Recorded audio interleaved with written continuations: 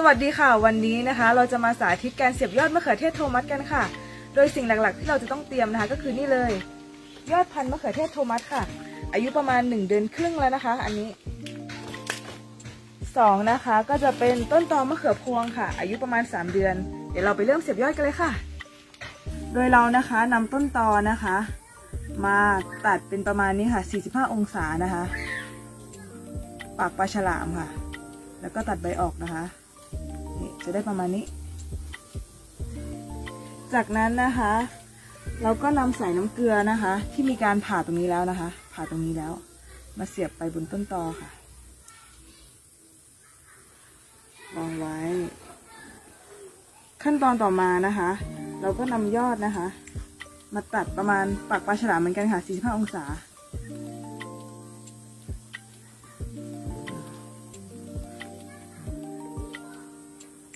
นี้นะคะ เพื่อที่เรา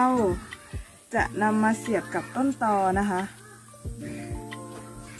โดยเราจะต้องเสียบให้แผลสมานกันนะคะ แผลสมานกัน ให้เนื้อเยื่อติดกันเยอะที่สุดนะคะ จะได้ประมาณนี้ แล้วก็ตัดแต่งใบออกนะคะ ทำไมต้องตัดแต่งใบออกเพื่อลดการคายน้ำนะคะ นี่จะได้ประมาณนี้เลย แล้วเราก็นำมาวางไว้นะคะ โดยช่วงเวลาที่เหมาะสมในการเสียบยอดนะคะ ก็คือจะเป็นช่วงเช้า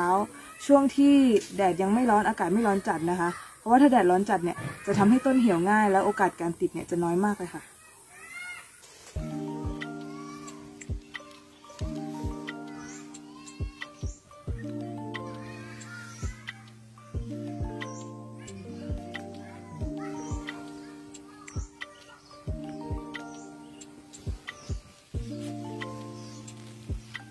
ค่ะและนี่นะคะก็เป็นยอดที่เราทำการเสียบเสร็จเรียบร้อยแล้วค่ะ เดี๋ยวเราจะนำไปชุบน้ำปุ๋ย AB ก่อนนะคะ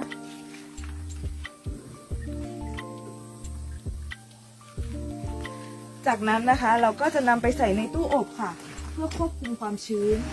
โดยเราจะใส่ในตู้อบเนี่ยประมาณ 7 วันถึง 10 วันนะคะ เพื่อให้เนื้อเยื่อระหว่างต้นตอกับยอดเนี่ยสมานกันนะคะ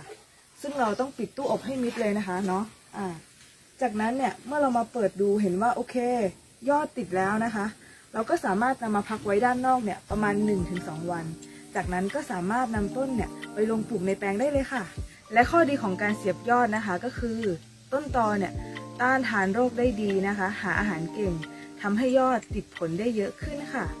และนี่นะคะก็จะเป็นขั้นตอนง่ายๆ ของการเสียบยอดมะเขือเทศโทมัสสำหรับคลิปหน้าอังุ่นจะไปไหนทำอะไรนั้น อย่าลืมติดตามกันนะคะ สวัสดีค่ะ